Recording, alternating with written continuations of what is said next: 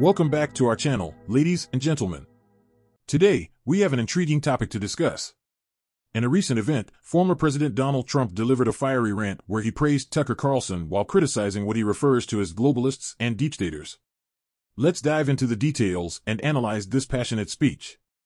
But before we get started, make sure to hit that subscribe button and ring the notification bell to stay updated with our latest videos. Now, let's jump right into it. Tucker Carlson, a very good guy, is exactly right. The number one reason the totally corrupt Biden administration and the sick Washington establishment are after me is because I stand up to their failed foreign policy agenda. The one thing Washington cannot forgive is that I put America first, always put America first. I could never help it. I have to do that in order to make America great again. I reject their foolish and disastrous foreign wars, their horrific globalist trade deals, their open border catastrophes, their corruption of our intelligence system, and it's never been more corrupt, and all of the other betrayals of the American people.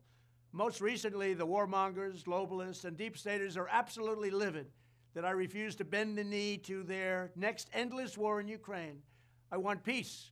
They want money and they want conflict, even if it means walking us into the brink of World War III, which frankly it is doing, and it's doing it rapidly.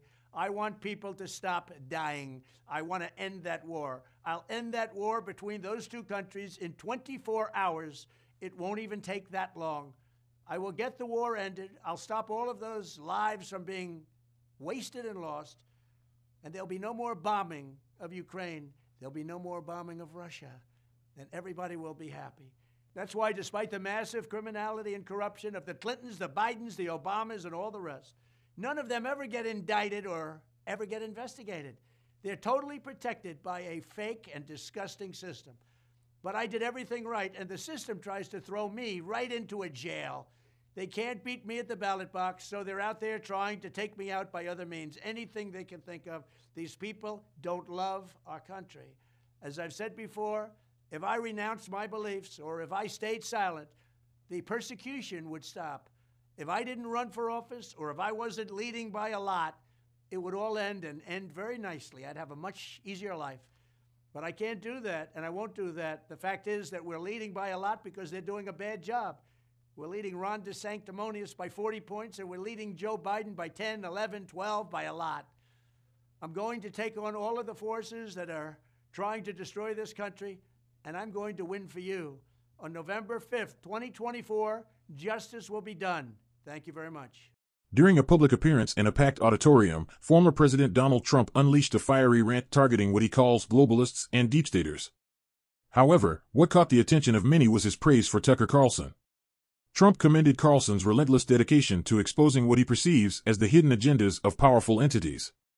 In his speech, Trump passionately expressed his frustration with what he sees as the erosion of American values and sovereignty due to the influence of globalist forces. He accused these globalists of prioritizing their own interests over the well-being of the American people. This is what President Trump said, and I quote, We have to fight against the globalists and deep staters who are working against our great nation. They don't care about you or me, they care about their own power and wealth. But we won't let them win. And I want to give a shout out to Tucker Carlson, who has been fearlessly calling them out on his show. Trump's endorsement of Tucker Carlson, one of the most influential conservative voices in the media, Trump has often praised Carlson's bold reporting and willingness to challenge mainstream narratives. The speech drew mixed reactions from both supporters and critics. Trump's supporters hailed his strong stance against what they perceive as globalist threats to American sovereignty. They applauded his recognition of Tucker Carlson's efforts in bringing attention to these issues. Critics, on the other hand, raised concerns about the divisive nature of Trump's rhetoric and his continued targeting of individuals and groups he disagrees with. They argued that such language could further polarize an already divided nation. And that's a wrap for today's video, folks. What are your thoughts on Trump's fiery rant and his praise for Tucker Carlson? Do you agree or disagree with his views on globalists and deep staters? Let us know in the comments section below. Remember to give this video a thumbs up if you found it informative, and don't forget to subscribe to our channel for more thought-provoking content.